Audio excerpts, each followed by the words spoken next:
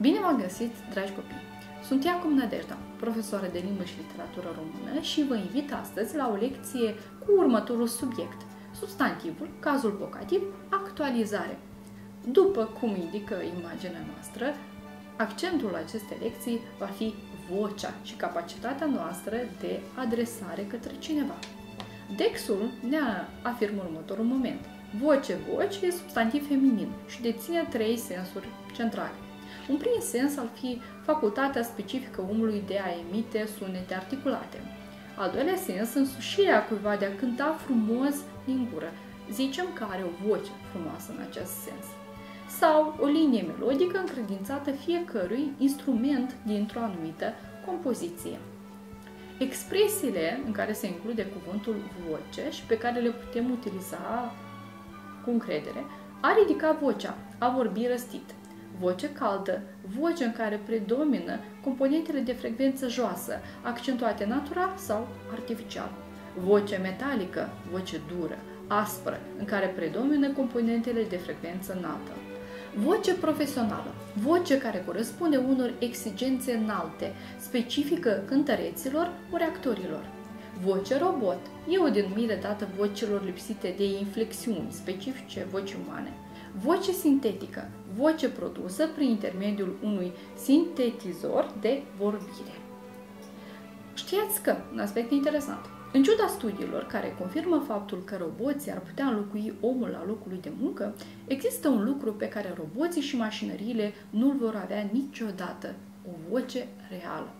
Un raport privind tendințele vocale din 2018 a constatat că 93% din 1000 de persoane chestionate preferă sunetul și vorbirea generată de om în comparație cu cele robotizate. Până în prezent, experții în tehnologie nu au produs încă voci umane autentice. Vă invit în continuare să observăm o voce umană transpusă în formulă literară. Trebuie să determinăm forma cazuală a substantivelor subliniate în textul scrisoare de Ana Blandian. Mult stimate astroauriu, sau mai simplu, dragă soare, m-am hotărât să-ți scriu o scrisoare. Nu ca știi să scriu cine știe ce, de ortografie mă apucă frica și mama când e supărată zice că scriu miau ca pisica. Dar am aflat că numai și numai de tine depinde cu adevărat vacanța și vara cât ține. De aceea m-am hotărât, stăpân al vacanțelor școlărești, să te conving să o lungești cât de cât, să mai stai vreo două luni pe loc, să rămână vara neschimbată, iar de-ți va fi greu ca o răsplată, iarna poți să nu mai vii deloc. Oricum, iarna tu știi doar să o strici, să ne moi ghețușul, să topești nămeții, când apar tu, nu se poate nici să mă bat cu bulgări cu băieții. Sau, și mai grozav ar fi, știi cum? Să țină vacanța acum vreo 10 ani. Pentru școală, iarnă, frig, oricum, e destulă vreme când vom crește mari. Sigur, tu poți să alegi oricare dintre căile de care eu îți scriu, doar să crească putințel vacanța mare și să înceapă școala mai târziu. Tare aș vrea să știu ce o să urmez, dar cum sper că te-am convins un pic, îți aștept răspunsul și semnez eu și cu pisoiul arpaigic. Ne-am recunoscut parțial, cred, în poezia neerlandiană și acum să remarcăm ce substantive am selectat noi. În cazul nominativ, exista substantivul desemnat mama. În acuzativ, ca pisica, o scrisoare, ghețușul, răspuns. În dativ nu am determinat forme. Genitiv, al vacanțelor, stăpân al vacanțelor. Și vocativ, cel de adresare, astru și soare. E bine să știm că în segmentul dat de ortografie mă apucă frica și mama când e supărat zice că scriu miau ca pisica, miau e scris uh, incorrect. De ce? Miau ar trebui să fie scris legat atunci când este o interjecție, iar miau cu cratimă se uh, va scrie într-o formulare de tipul mi-au spus, Verbul a spune aici e la modul indicativ timpul trecut, aspectul perfectul compus, ce au făcut, au spus, și mi este pronumele personal, mi, o formă neaccentuată, au spus cui, mie, personal, e numărul singular, cazul dativ. Trebuie să memorăm. Substantivul care arată o chemare sau prin care unei persoane se atrage atenția este în cazul vocativ, de la voce. Substantivul în cazul vocativ nu are, poate spre bucuria noastră, funcție sintactică și nu este parte de propoziție. Totodată, vocativul poate constitui singur o propoziție care nu îi se analizează, de exemplu, Alexandre. Formele substantivelor în cazul vocativ pot fi diverse. În primul rând, se poate desemna o formă proprie, construită cu desinențe, adică cu finalizări de tipul e, băiete, ioane, la genul masculin, remarcați. O pentru genul feminin, fato, mario. S-au oferit exemple atât de substantive comune cât și de proprii.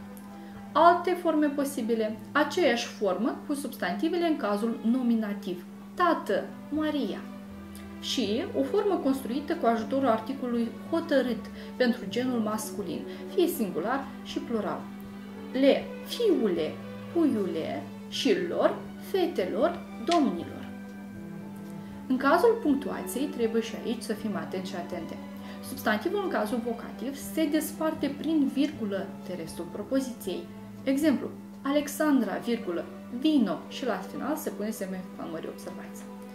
Totuși, nu se despart prin virgulă termenii unei formule de adresare. Exemplu, doamna dirigintă, virgulă, veniți repede. Nu se plasează virgula între doamnă și dirigintă, ci după îmbinarea totală.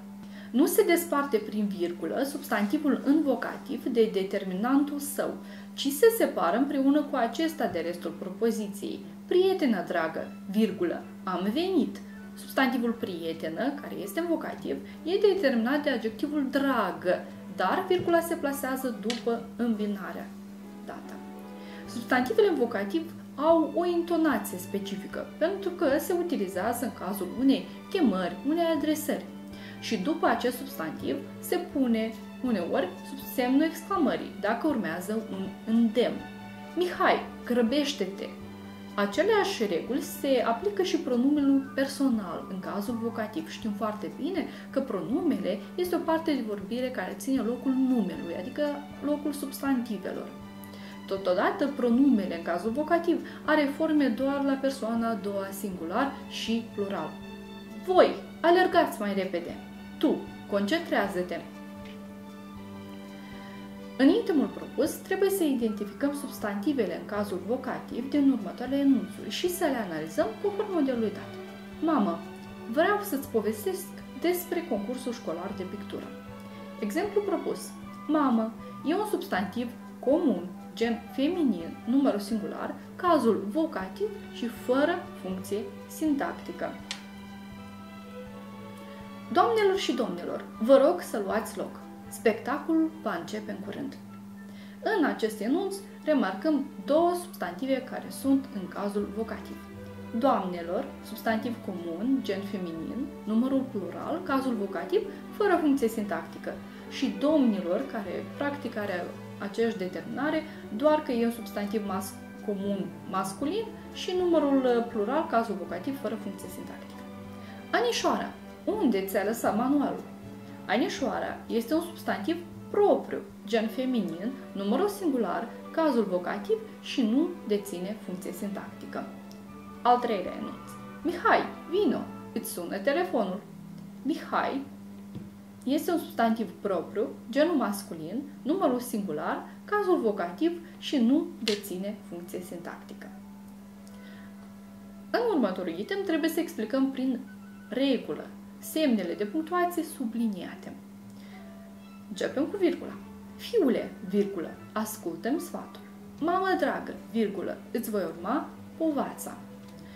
Să medităm. În primul enunț, virgula desparte substantivul în cazul vocativ fiule, care este comun, masculin, singular și fără funcție sintactică. Iar în al doilea enunț, virgula desparte substantivul în cazul vocativ mamă, comun, feminin, numărul singular fără funcție sintactică și determinativul lui, adjectivul dragă. Semnul exclamării. Tu, vină încoace. Ioana, mergi mai repede.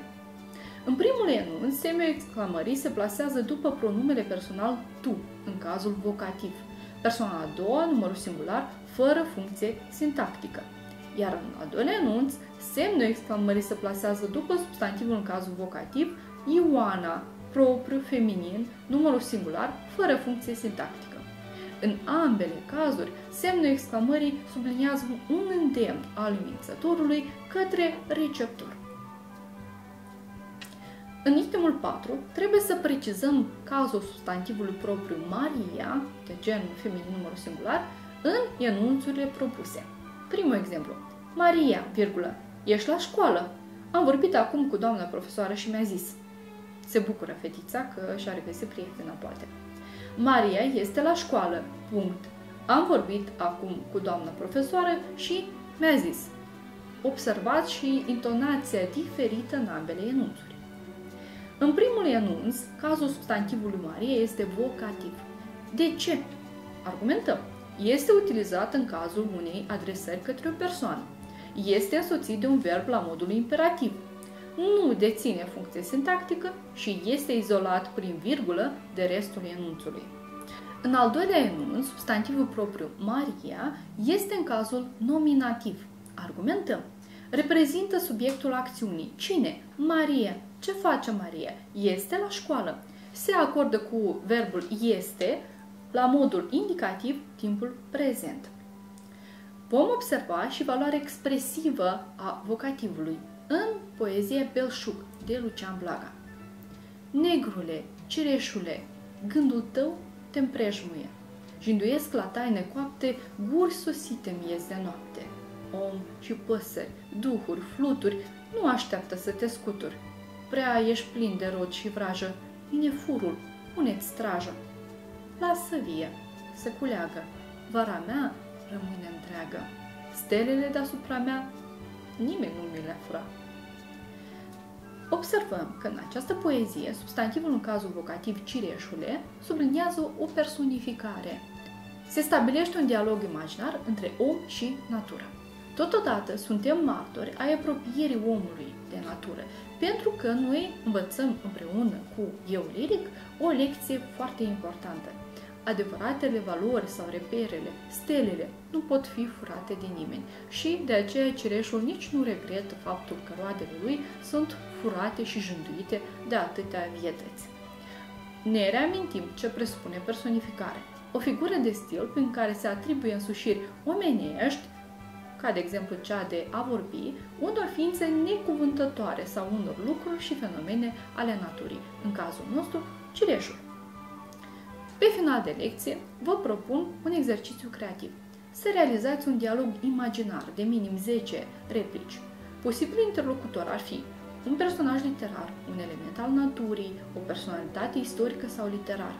Să utilizăm în acest dialog cel puțin două substantive sau pronume în cazul vocativ. Totodată vom explica prin regulă utilizarea semnelor de punctuație, virgulă sau semn de exclamare. Vă doresc succes și foarte multă inspirație!